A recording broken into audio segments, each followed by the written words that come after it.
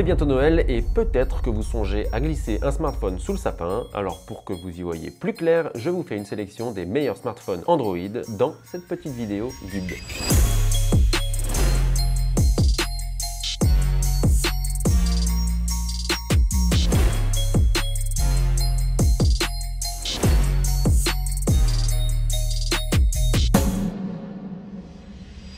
Bonjour à tous, c'est Romain pour la chaîne de Presse Citron et aujourd'hui on se retrouve pour une petite vidéo guide pour vous accompagner dans l'achat d'un smartphone à glisser sous le sapin à Noël si toutefois vous l'envisagez. Avant de commencer, je précise qu'on ne va pas parler des iPhones ici parce qu'on a une vidéo qui est dédiée à ces modèles donc je vous invite à la consulter. Il y a une petite notification qui va apparaître ici ou là, je ne sais jamais donc faites confiance à vos yeux. Alors pour cette sélection, je vais vous parler de 6 produits. Il y en a des ultra premium, des premium au-dessus de 1000 euros, en dessous de 1000 euros et il y a aussi deux modèles plus abordables qui sont autour des 500 euros, voire en dessous. Et sans plus attendre, je vais commencer par le Pixel 8 Pro, dernier smartphone lancé par Google en octobre dernier. Le Pixel 8 Pro, c'est le Nec Plus Ultra de ce que propose Google et aussi l'un des meilleurs smartphones premium lancés en 2023. Alors pourquoi on aime particulièrement le Pixel 8 Pro à la rédaction de Presse Citron? Eh bien parce que d'abord c'est un smartphone très original de par son design. Très clairement sur le marché, il y a peu de smartphones avec autant d'audace. Alors le design du Pixel 8 Pro, c'est bien entendu cette bande au dos du smartphone qui intègre tous les capteurs photo, un petit peu à la façon du masque X-Men, mais ce sont aussi des smartphones avec des coloris très originaux qui changent un petit peu du noir et du blanc que l'on peut retrouver chez la plupart des autres constructeurs. Alors on apprécie d'abord le Pixel 8 Pro pour ce design, mais on l'apprécie surtout pour sa partie logicielle et ses qualités photographiques. Je commence par le logiciel. Le Pixel 8 Pro, il transpire l'intelligence artificielle. Google, qui est expert dans le domaine, l'a intégré un petit peu partout dans le logiciel, qui fait que l'ergonomie générale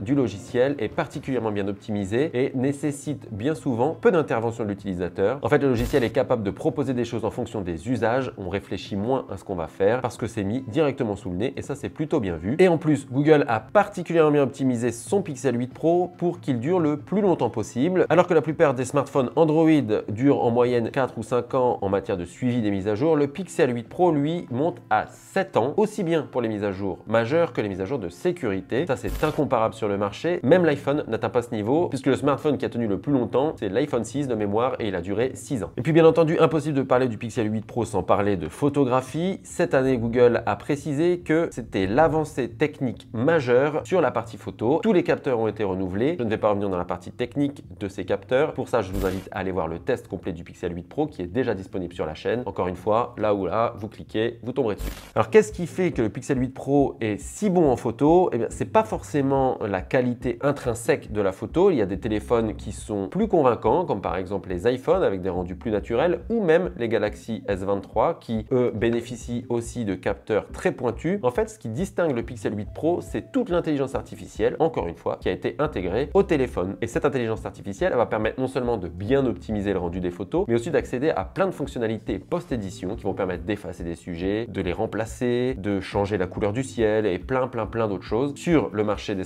actuellement, il n'y a aucun smartphone qui permet d'avoir toutes ces possibilités. En fait, le Pixel 8 Pro, il intègre un mini Photoshop directement dans la poche et ça, c'est génial. Et puis, il y a plein d'autres choses hein, qui font que ce Pixel 8 Pro, il est vraiment bon. Il y a la qualité de son écran qui est vraiment excellente. L'autonomie est franchement pas mal. Et puis surtout, son prix est vraiment dingue puisque quand ses concurrents sont proposés aux alentours de 1300-1400 euros, lui, le Pixel 8 Pro, il tourne autour des 1100 euros, 1200 euros. Donc, on gagne un petit peu sur la facture finale et en plus, on le garde plus longtemps. Donc, vraiment, ce Pixel 8 Pro, c'est un vrai de cœur chez Presse Citron.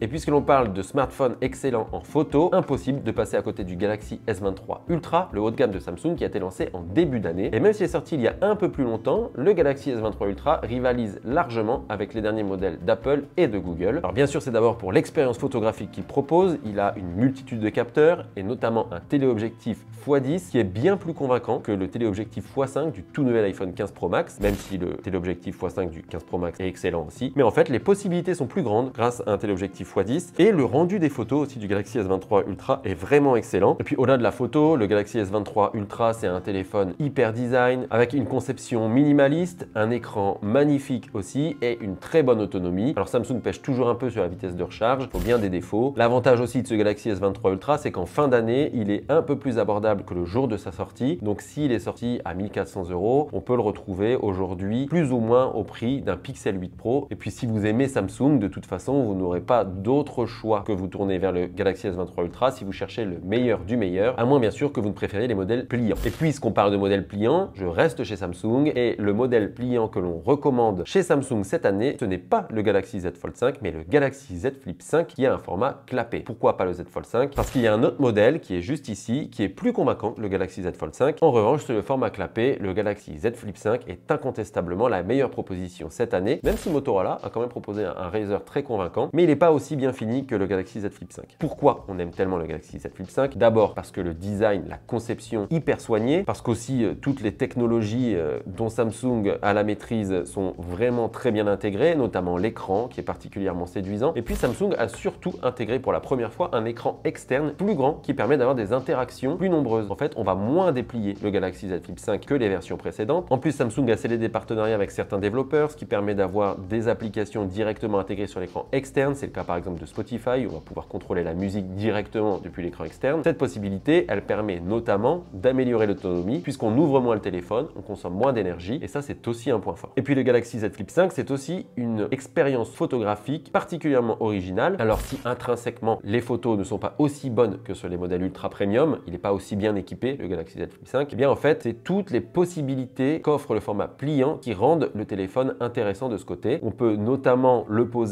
un petit peu partout pour faire des photos face caméra directement, pour tourner des vidéos aussi. Pour ceux qui aiment le vlog par exemple, c'est intéressant puisqu'on peut avoir un retour caméra directement sur l'écran externe. Et puis Samsung a pensé à plein de petites fonctionnalités qui rendent l'expérience photographique plus originale. On pouvoir shooter des photos avec des angles qu'on ne pourrait pas prendre avec des téléphones plus classiques. Puis c'est aussi un téléphone innovant qui tend à démocratiser le smartphone pliant à condition bien sûr d'apprécier le format clapé. Et pour ne rien gâcher, on peut le trouver sous la barre des 1000 euros sans problème, ce qui fait qu'on a vraiment un bon rapport qualité-prix pour commencer à adopter les produits innovants.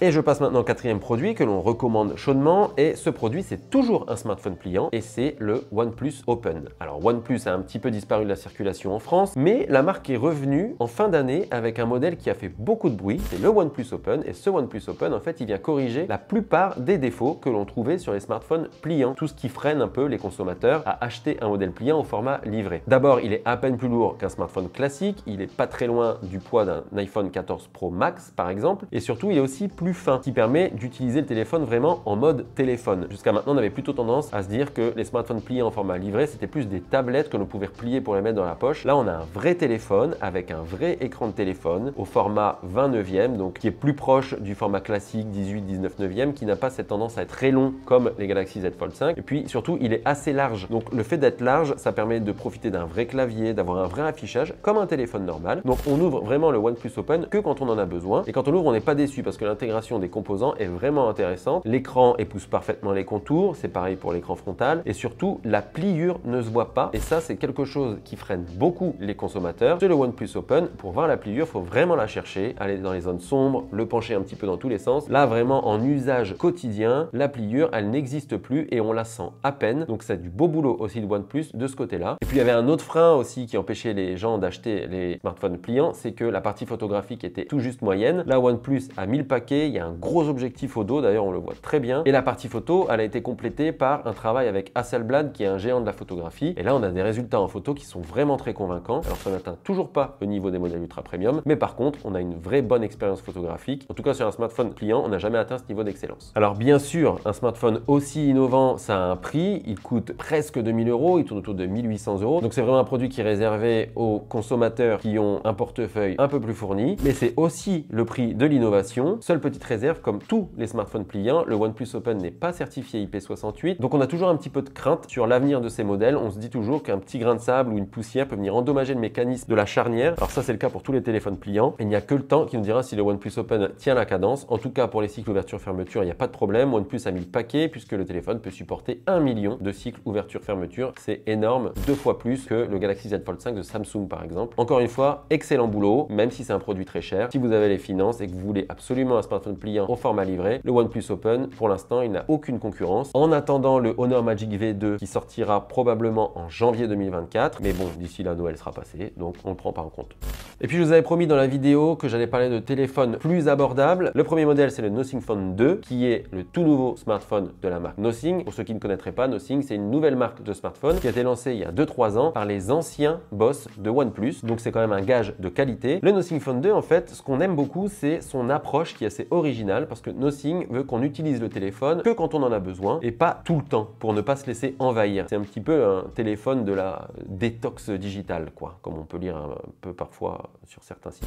En gros, le Nothing Phone 2, il se distingue par deux choses. Il a été conçu pour qu'on ne soit pas tout le temps connecté au téléphone, donc il y a plein de fonctionnalités logicielles qui nous poussent à utiliser le téléphone que quand on a besoin, mais il y a aussi une partie plus originale qui se situe au dos du smartphone. Le dos du smartphone est complètement transparent et il y a un système de diodes qui est intégré sur toute la surface de la coque arrière. Et en fait, ces diodes vont permettre d'envoyer des communications à l'utilisateur. Quand la batterie charge, il y a une diode qui s'allume. Quand il y a un appel, il y a une autre diode qui s'allume. Quand c'est une notification de tel ou tel service, il y a telle partie des lumières qui va s'allumer aussi. Et en fait, ça, ça permet d'être au courant que quelque chose se passe sur le téléphone, mais de ne pas forcément l'ouvrir pour regarder et perdre du temps. On l'a tous fait. On ouvre le téléphone pour regarder une notification et puis en fait, on se perd sur un réseau social et on perd 20 minutes. Et bien ça, en fait, le Nothing Phone 2 permet de s'en détacher et c'est plutôt une bonne chose. Bon alors, tout n'est pas parfait sur le Nothing Phone 2, mais la marque a bien amélioré certains points, notamment la partie photographique qui avait été vivement critiquée sur le premier modèle. Donc oui, ce nouveau modèle est un peu plus cher, mais il est aussi mieux équipé et pour le coup, la partie photo qui était très moyenne, là, elle est plutôt bonne, même si c'est pas excellent non plus. Mais bon, pour le prix, il faut forcément faire des sacrifices sur certains aspects. Là, c'est un petit peu la photo, un petit peu euh, l'autonomie, mais dans l'ensemble, un téléphone hyper équilibré, plutôt complet et qui a le mérite en plus de nous détacher un petit peu de cette addiction au smartphone qui nous touche tous aujourd'hui. Et puis je termine par un téléphone vendu sous la barre des 500 euros parce qu'il en faut pour tout le monde et ce téléphone c'est le Pixel 7 à l'heure où on tourne cette vidéo, le Pixel 7a, il est disponible sous la barre des 500 euros et il reprend les essentiels des smartphones Pixel haut de gamme de Google. Donc on retrouve le design si caractéristique avec la fameuse bande qui intègre les capteurs photo, avec euh, le dos de plusieurs couleurs. Et puis les autres composants sont plutôt bien travaillés. Il a la même puce que les Pixel 7 euh, haut de gamme. Il a aussi un très bel écran OLED, ça c'est rare aussi sur des téléphones sous la barre des 500 euros. Et il est aussi surtout truffé d'intelligence artificielle dans partie logicielle, donc on a la même expérience. Et puis pour la partie photo, clairement, sous la barre des 500 euros, on trouve pas un meilleur téléphone parce que Google, dès le début des pixels, a développé ses téléphones, notamment la partie photographique, en optimisant les algorithmes de traitement de l'image, qui permet d'avoir des capteurs qui sont peut-être moins coûteux, donc ça permet d'avoir un téléphone moins cher, mais qui, grâce à l'intelligence artificielle, vont permettre d'avoir des photos dignes de certains smartphones haut de gamme. Et ça, franchement, c'est un vrai, vrai atout. Et puis pour ne rien gâcher, en plus, Google a annoncé que certaines nouvelles fonctionnalités qui sont disponibles sur les Pixel 8 vont arriver aussi sur le Pixel 7a. Donc il y a des fonctions de post-édition qui vont arriver, comme la gomme magique qui est déjà présente, mais d'autres nouveautés vont aussi être intégrées au fur et à mesure du temps sur le Pixel 7a. Toute la partie intelligence artificielle va évoluer aussi avec le temps. Donc pour un smartphone qui est vendu moins de 500 euros, le voir comme ça s'améliorer quand même au fil du temps, c'est plutôt pas mal. Alors en revanche, il y a un point important, si les Pixel 8 et Pixel 8 Pro, eux, vont bénéficier de mises à jour majeures pendant 7 ans, le Pixel 7a, lui, reste encore sur un suivi plus classique, donc il y en a pour 3-4 ans et pas plus. Alors sur un modèle à 1000 euros, c'est plus problématique. Sur un modèle vendu moins de 500 euros, un peu moins. 3 ans, c'est à peu près le cycle de renouvellement en fait des consommateurs en France. Donc peut-être que dans 3 ans, vous voudrez changer. Et d'ici là, il y aura peut-être un Pixel aussi vendu sous la barre des 500 euros qui viendra remplacer celui-ci. Alors évidemment, il y a d'autres propositions qui sont très sympas sur le marché. Hein. Je pense par exemple au modèle pliant de Motorola, le Razer. Il y a aussi euh, le récent Motorola Edge 40 Neo qui a un bon rapport qualité-prix. Ou je pense euh, par exemple à certains modèles de Xiaomi qui sont aussi plutôt convaincants, aussi bien sur le haut de gamme que en entrée de gamme. Mais puisqu'on doit faire un choix, voilà la sélection des 6 modèles qui pour nous valent vraiment le coup en cette fin d'année.